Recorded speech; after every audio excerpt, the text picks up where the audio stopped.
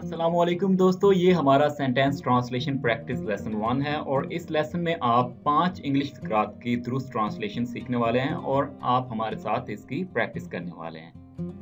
तो हर सेंटेंस को ट्रांसलेट करने के लिए आपको दिए जाएँगे 10 सेकेंड्स जिनमें आप अपना दुरुस्त सेंटेंस अगर आपको दुरुस्त ट्रांसलेशन करनी आती है तो कमेंट में हमें बता सकते हैं। तो चलिए स्टार्ट करते हैं, हमारे पास पहला सेंटेंस है। मौसम कैसा है? मौसम कैसा है? आप इसकी ट्रांसलेशन कर सकते हैं कमेंट बॉक्स में हम बता सकते हैं तो आपकी ट्रांसलेशन चेक भी की जाएगी। आपका टाइम स्टार्ट होता है अब।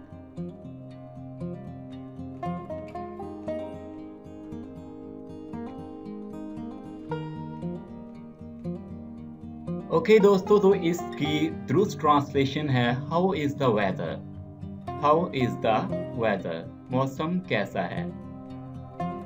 हमारा नेक्स्ट सेंटेंस है, नौ बजने में बीस मिनट हैं। नौ बजने में बीस मिनट हैं। ये सेंटेंस टाइम बताने के बारे में है। तो आप इसकी हमें दुरुस्त ट्रांसलेशन बता सकते हैं। आपका टाइम शुरू होता है अब।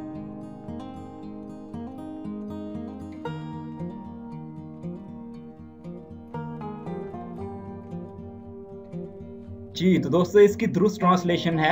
It is twenty two nine it is twenty two nine नौ बजने में बीस मिनट हैं। यानी अभी तक बीस मिनट पड़े हैं नौ बजने में। आठ बज के चालीस मिनट हो चुके हैं।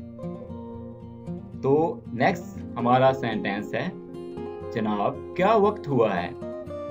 जनाब, क्या वक्त हुआ है? इस सेंटेंस की आप हमें दुरुस्त ट्रांसलेशन बता सकते हैं कमेंट्स में। तो चलिए आपका टाइम स्टार्ट होता है। अब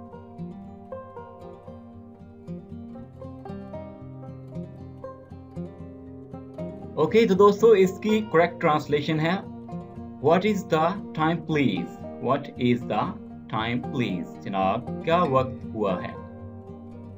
ओके okay, हमारे पास नेक्स्ट सेंटेंस है फ़िक्र न कीजिए फ़िक्र ना कीजिए। आपका टाइम स्टार्ट होता है अब।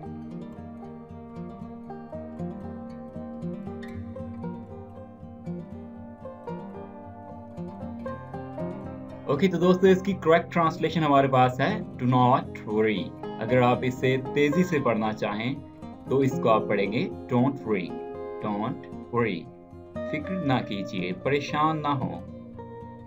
ओके okay, तो हमारा आज का लास्ट सेंटेंस है आप देर से क्यों आए हैं? आप देर से क्यों आए हैं? क्या रीजन है कि आप लेट आए हैं? तो चलिए आपका टाइम स्टार्ट होता है अब।